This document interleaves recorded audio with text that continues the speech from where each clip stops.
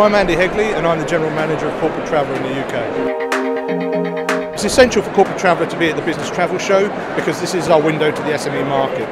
This gives us the ability to launch our products, to meet new customers, to organise potential meetings with people that are interested in changing provider. It also keeps us abreast of what's changing in the market. My name's Luke, I'm the Head of Technology Operations for Red. We're a leading SAP recruitment business. We like to come to these things every year because you know the, the corporate travel booking uh, industry is forever changing so we're kind of always looking for new ways that we can kind of improve the way that we do corporate travel essentially. Hi, um, my name is Hannah Jarvis. I'm an account manager for Corporate Traveller. We are at the Business Travel Show today to launch SAM, our brand new CT app.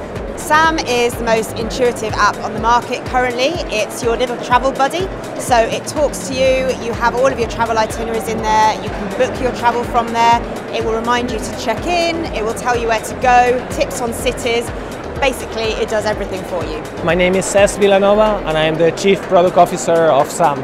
I think that what makes SAM different is that the focus is on the traveler experience.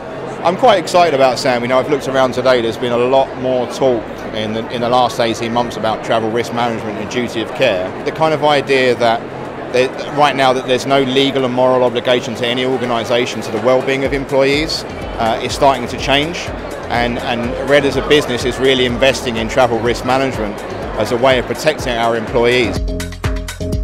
The future of corporate travel is really bright at the moment. We've always had fantastic people, we've always had great product, but we now have an even better technology story, which is really talking to that blended approach.